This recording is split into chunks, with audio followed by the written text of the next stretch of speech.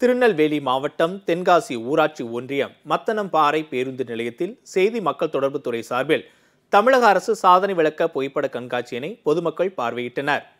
Tirunelveli Saint John matric மேல்நிலைப் பள்ளியில் நடைபெற்ற டாக்டர் ஜான் பொன்னுதுரை நினைவு மாநில அளவிலான ஹாக்கி போட்டியில் வெற்றி பெற்ற மதுரை மாவட்டம் பாண்டியராஜபுரம் மதுரை சர்க்கரை ஆலை அரசு மேல்நிலைப்பள்ளி மாணவர்களை மாவட்ட உடற்கல்வி ஆய்வாளர் செங்கதிர் தலைமை ஆசிரியர் இலக்குமணன் உதவி தலைமை ஆசிரியர்கள் சக்திராஜன் ஹக்கீம் பெற்றோர் ஆசிரியர் கழக தலைவர் பஞ்சவர்ணம் மற்றும் ஆசிரியர்கள் வாழ்த்தினர்.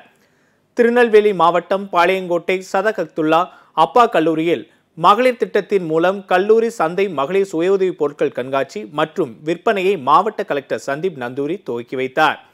சிவகங்கை மாவட்டம் காரைக்குடி வட்டம் கோவிலூரில் செய்தி மக்கள் தொடர்பு துறையின் சார்பில் புகைப்பட கண்காட்சி அமைக்கப்பட்டது. இப்புகைப்பட கண்காட்சியினை அமைக்கும் பணியை செய்தி மக்கள் தொடர்பு துறையின் அலுவலர்கள் சிறப்பாக செய்திருந்தனர். புதுக்கோட்டை மாவட்ட அமைச்சூர் ஆணழகன் சங்கம் சார்பில் மிஸ்டர் புதுக்கோட்டை போட்டி நடைபெற்றது. புதுக்கோட்டை கோப்பையை கெட் சிக்ஸ் ஜிம் அணி வென்றது.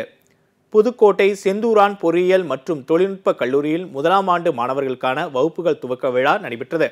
கல்லூரி தலைவர் ஆர். வைரவன் துணைத் தலைவர் சோம நடராஜன் அறங்காவலர் குழு உறுப்பினர்கள் ஏவிஎம் செல்வராஜ் ஏவிஎம் ராமையா தியாகராஜன் மற்றும் மனிதவள இயக்குனர் மீனா வைரவன் செயல் இயக்குனர் எம். பாண்டிகிருஷ்ணன் ஆகியோர் கலந்து கொண்டனர்.